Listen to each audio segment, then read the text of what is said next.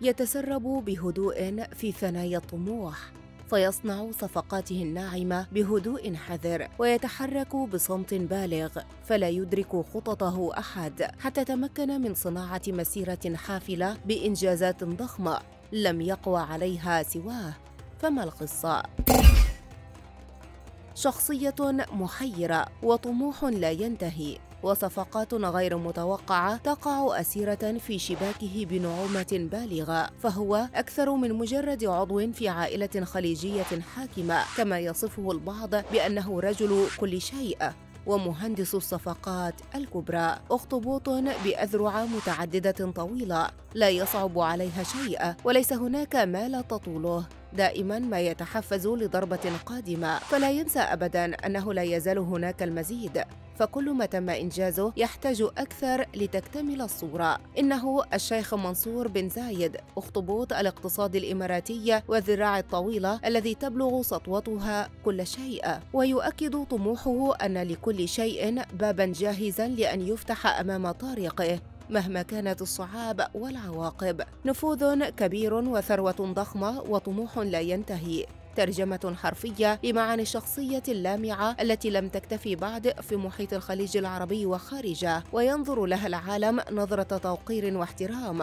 وينتظر منها المزيد. الشيخ منصور بن زايد الذي ولد في شهر العظماء عام 1970 يعد أحد أهم رجالات السياسة الناعمة في دولة الإمارات العربية المتحدة. وكتفا يتحمل مزيدا من المسؤوليات الكبرى. ويتحفز لمزيد من النجاحات العظمى كما أنه أحد رجال الظل في سياسة محمد بن زايد الهادي المتزنة. فالأمير صاحب النفوذ العالي يلعب أدوارا متعددة في آن واحد أهلته ليكون من أهم راسمي استراتيجيات السياسة الإماراتية داخل البلاد وخارجها. وحصل الشيخ منصور على درجة البكالوريوس في العلاقات الدولية من جامعة أمريكية. قد أهلته لمرافقة والده الشيخ زايد كمدير لمكتبه حتى وفاته في العام 2004 قبل أن يتعمق أكثر في السياسة الداخلية وقبل أن ينطلق أكثر. فيتولى رئاسة مجلس إدارة المصرف المركزي الإماراتي ليضبط بخبرته الطويلة